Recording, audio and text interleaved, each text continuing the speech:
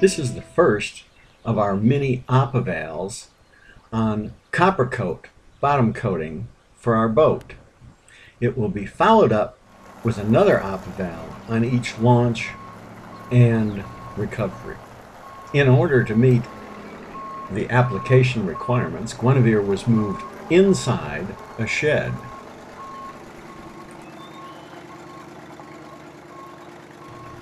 All old bottom coatings and coverings were removed right down to the barrier coat.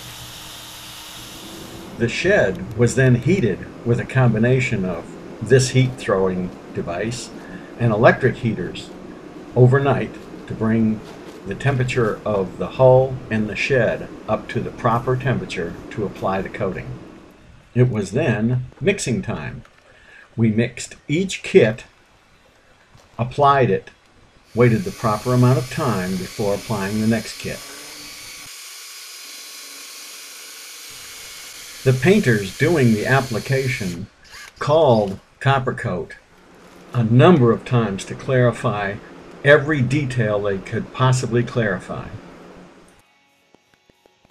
Coppercoat, as mixed per directions, is thin. Four coats are called for, and four coats are what we applied.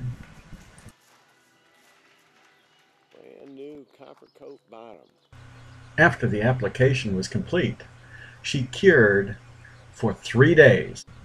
We then did a very light sanding to expose the copper and remove the just the top layer, very slight amount of epoxy. It was then time to splash.